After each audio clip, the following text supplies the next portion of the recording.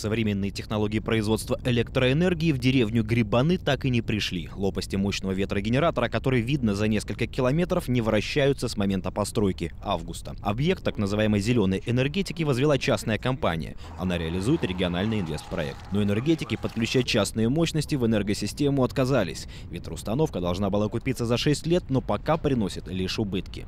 Каждый месяц мы не имеем возможности продать в сеть, отдать, соответственно, и получить за деньги около 150 тысяч киловатт.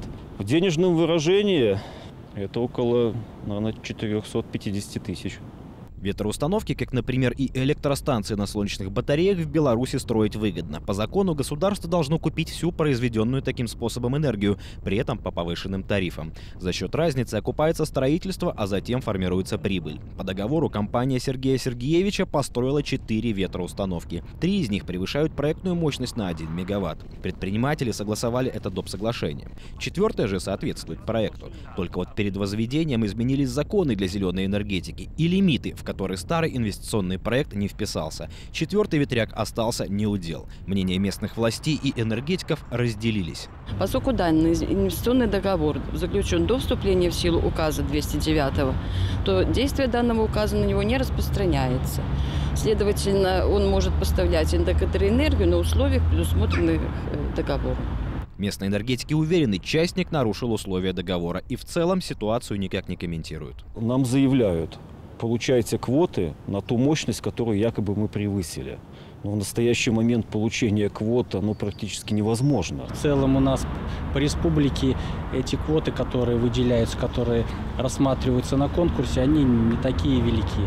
Эм, вот, к примеру, в прошлом году э, в конкурсе э, было заявлено всего лишь 56 э, мегаватт установленной мощности, которые распределялись между конкурсантами. Всего нетрадиционная энергетика в стране – это не более 4% от всего рынка. Необходимость регулирования возникла с началом строительства в стране атомной станции. Вырабатываемые ею киловатты существенно дешевле, чем те, что вырабатываются ветроустановками и датируются государством. Нагрузка на покупку по повышенным тарифам энергии от данных установок, она будет ощутима.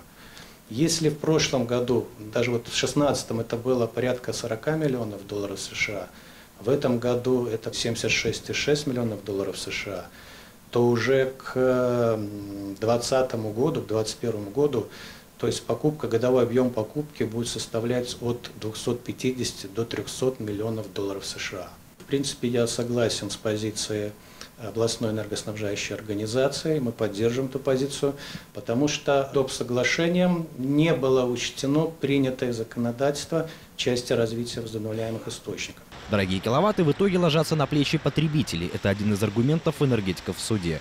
После того, как возможности переговоров исчерпаны, частный инвестор обратился в суд. Позади уже несколько заседаний, у сторон затребованы доказательства.